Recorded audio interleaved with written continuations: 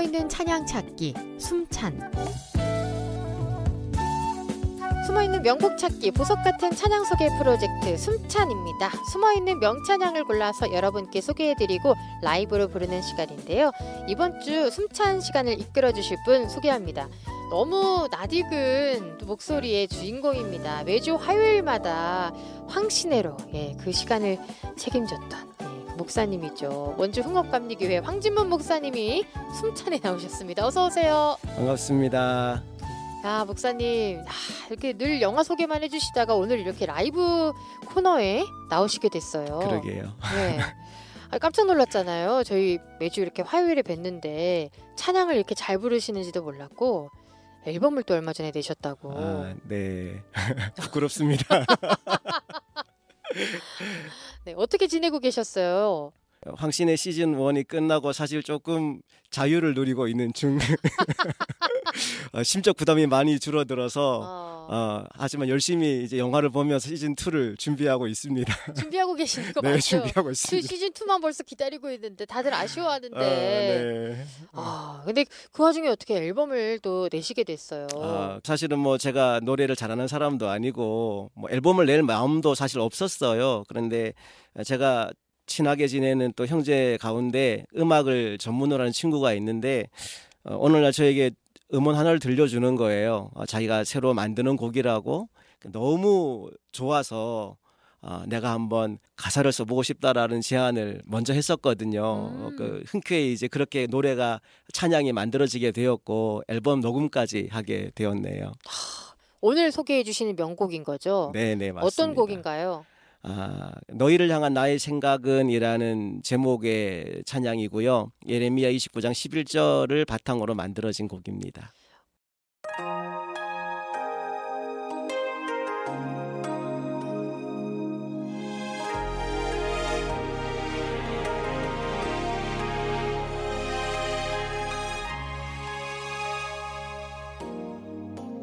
이게 얼마 되지 않은 따끈따끈한 신곡이라고 네, 2023년 8월에 어, 발매된 곡입니다. 지난달에 네, 네. 발매가 지난달에. 됐어요. 네. 녹음 이런 건 어디서 하셨어요? 아, 그 CY라고 하는 활동명으로 음악을 하고 있는 형제가 있는데 어, 횡성에 스튜디오가 있어요. 예. 거기에 제가 가서 어, 녹음을 하게 됐습니다. 음, 오늘 이 곡을 직접 만든 분과 또 스튜디오에 함께 하셨는데요. CY 원치현 형제님 함께합니다. 어서 오세요.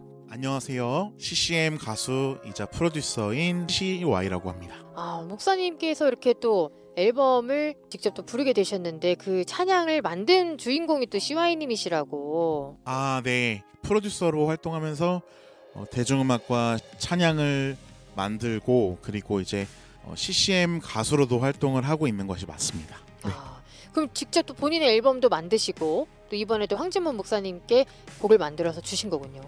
네, 맞습니다. 원래는 이 곡을 제 앨범으로 내려고 한 게 맞아요. 그런데 제가 기도를 하는데 황진문 목사님 생각이 계속 나는데 우선은 저는 프로듀서지만 작사를 잘 하는 사람이 아니에요. 제가 황진문 목사님께 곡을 만들면 많이 들려드리고 이 곡이 어떤 것 같냐고 여쭤보고 그런 편이거든요. 어. 근데 이제 목사님께서 곡을 들어보시고 어 내가 가사 한번 써볼까라고 하셔서 아, 예 제가 너무 감사할 것 같아요 목사님. 꼭 그렇게 써주세요. 이렇게 여쭤봤고 그리고 이제 목사님께서 가사를 다 써주셨을 때 네. 그때까지도 제가 부르려고 했어요 네. 사실은. 그런데 기도를 하는 중에 목사님께서 부르시면 어떨까라는 생각이 제 안에 있었는데 개인적으로는 하나님께 응답을 받았다고 생각해요. 음, 예, 목사님께서 불러주시면 참 좋을 것 같다는 그런 생각과 또 기도에 하나님께 응답을 받아서 목사님께 여쭤봤는데 목사님께서 또 노래까지 불러주신다고 하셔서 감사히 예, 작업을 같이 하게 사실 됐습니다. 한 번에 제가 수락한 게 아니고요. 네. 여러 번 저는 안 한다고 저는 못 한다고 나 아. 노래할 사람이 아니다고 했는데 네. 계속 계속 기도했다고 응답 받았다고 목사님 해주셔야 된다고 목사님한테 저를 그- 설득해서 결국은 녹음을 하게 된 거예요. 목사님한테 기도 응답 받았다고 하니 이거 할 말이 없네요, 진짜 이거는. 야, 근데 목사님은 어떻게 그 멜로디를 듣고 예레미야 써야겠다 생각을 하신 거예요? 어, 그때 마침 제가 그 말씀으로 설교도 하고 묵상도 하고 너무나 그 말씀의 은혜를 누리는 중이었는데 음. 멜로디를 듣자마자 그 제목이 떠올랐어요. 너희를 향한 나의 생각은이 바로 떠오르더라고요. 아. 어, 그래서 그 말씀과 연결해서 어, 곡을 어, 열심히 써봤던 거예요. 음, 그럼 가사가 예레미야의 내용일 텐데 구체적으로 어떤 내용인가요? 어, 예레미야 29장의 배경이 바벨론에 의해서 나라가 망하고 많은 사람들이 포로로 끌려간 상황이었거든요. 네. 그렇게 포로 생활을 하고 있는 사람들에게 보낸 예레미야의 편지가 29장이에요. 그런데 11절 말씀을 보면 이렇게 되어 있어요. 여호와의 말씀이니라 너희를 향한 나의 생각을 내가 아나니 평안이요 재앙이 아니니라 너희에게 미래와 희망을 주는 것이니라. 지금 현실을 바라보면 재앙으로 느껴지는데 주님은 아니래요. 평안이고 미래와 희망을 주는 것이라고 말씀하더라고요. 음. 그리고 실제로 70년의 포로 생활이 끝나고 나서 다시 고향 땅으로 돌아와서 성전도 짓고 예배가 회복되게 만드신 거죠. 네. 그래서 이 곡을 제가 가사를 쓰면서 그런 마음이 들었어요. 지금 고난의 한복판에 있는 사람들 또 하나님의 사랑에 대해 의심이 들고 마음이 흔들리는 사람들에게 이 곡을 좀 들려주고 싶다. 그런 마음으로 가사를 쓰게 되었습니다. 네. 그러면 이 곡을 좀 직접 또 이제 부르시잖아요, 목사님이. 네네. 그럼 멜로디적인 부분은 우리 CY 형제님께서 얘기해 주시고 가사적인 측면에서는 또 어떤 부분을 주의해야 되는지 두 분이 따로따로 말씀해 주시면 좋겠네요. 아, 작곡가 네, 작사가가. 다 같이 있으니까. 네네. 일단 멜로디 부분에서 좀 주의해야 될 부분 있을까요? 어, 이 곡의 멜로디는요. 남자분이 따라 부르기 쉽게 조금 작곡이 된 편이라고 설명을 드릴 수 있을 것 같아요. 그래서 사실은 여자분들이 부르시기에는 조금 키가 높으실 수 있으세요. 그렇다고 또 남자분들만 불러야 된다고 말씀드리기는 제가 작곡을 하게 된 의도와는 좀 멀기 때문에 적당히 이제 여자분들이 부르실 때는 낮춰서 부르시면 될 것 같고요. 음, 그리고 남자분들이 부르실 때도 가사의 의미에 중점적으로 포커스를 두시고 부르면 부르시는 분 안에 큰 은혜가 있을 거라고 저는 믿습니다. 네. 네. 멜로디는 좀그 무난하군요. 네, 부르기에는. 멜로디는 무난하게 작곡을 하려고 노력을 많이 아. 했죠. 뭔가 너무 튀거나 아. 너무 세련되거나 한마디로 말씀드리자면 과하지 않게 하려고 노력을 많이 한것 음. 같아요. 네, 근데 개인적으로. 대중가요도 만드시는데 네. 이렇게 또 과하지 않게 절제하면서 그렇습니다. 모두가 네. 부를 수 있는 그런 쉬운 어찌 보면 그런 네. 찬양을 만드시는 게 네. 참 잘하신 것 같아요. 아, 감사합니다. 네. 가사는 또 어떤 부분에서 좀 주의하면서 불러야 될까요, 목사님? 일단 제목이기도 한데 너희를 향한 나의 생각은이라는 가사가 많이 반복이 돼요. 음, 그러니까 이 가사를 계속 반복할 때 하나님이 우리에게 주고 싶은 그분의 마음을 우리가 좀 느꼈으면 좋겠어요. 현실을 보면 늘 우리는 낭망하잖아요. 어, 또 때로는 좌절하기도 하고 또 내가 무슨 죄를 지어서 이런 벌을 받나 하는 생각을 할 때도 있고요. 네. 그런데 그 모든 순간마다 하나님은 내 생각은 달라. 아, 내 생각은 달라라는 말씀을 주시거든요. 음, 그 메시지를 이 제목의 가사를 반복하면서 하나님의 마음으로 들려주려고 이 곡을 작사를 했던 거였거든요. 네. 그래서 노래 찬양을 하면서 그 하나님의 마음을 느끼는 시간을 가지면 참 좋겠다라는 생각이 듭니다. 네. 그럼 이 곡을 또 특별히 어떤 분들이 들었으면 좋겠다 추천하고 싶으세요? 어, 그 사실은 지난주 금요 기도회 때 그 저희 이제 성도님 돌아가면서 간증을 하시거든요. 네. 그 권사님 한 분이 간증을 하시는데 굉장히 힘들었던 삶의 고백들을 많이 들려주시더라고요. 그리고 나서 그분이 최근에 어, 즐겨 듣는 찬양이 하나 있다고 그 날마다 들으면서 은혜를 받는 곡이 하나 있다고 말씀하시는 거예요.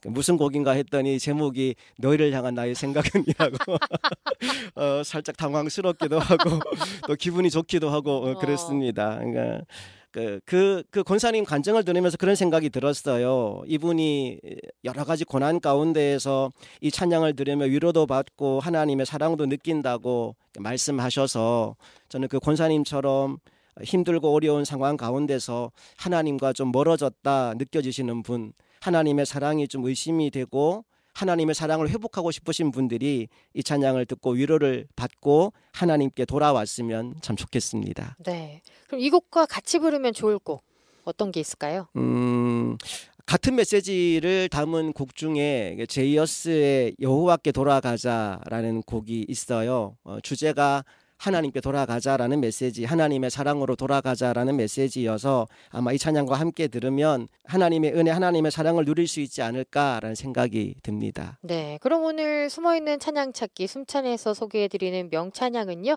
황진문 목사님의 너희를 향한 나의 생각은 아, 오늘 이렇게 황진문 목사님이 직접 라이브로 들려드리면서 이 시간 마칠까 합니다. 목사님은 이제 황신의 시즌 2에서 다시 뵙는 걸로. 네, 오늘 그래도 이렇게 보너스 타임처럼 그러게요. 한번 더 뵐 수 있어서 너무 반가웠습니다. 네, 저도 반가웠습니다. 네, 다들 반가워하시고 계시네요. 네. 숨어있는 찬양 찾기 숨차는 강원 CBS 유튜브에서 다시 들으실 수 있습니다. 그럼 지금 목사님의 라이브로 너희를 향한 나의 생각은 청해 들으면서요. 저는 다음 주 숨찬에서 다시 찾아뵐게요. 고맙습니다. 감사합니다.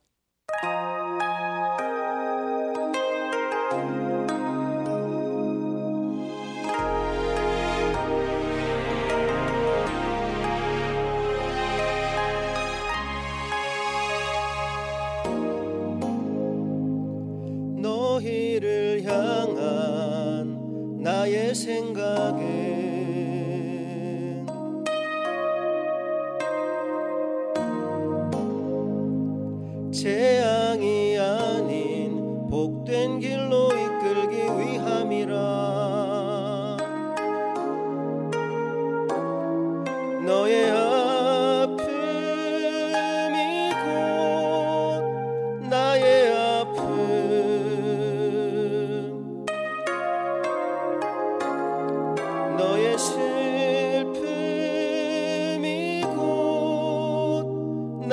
나의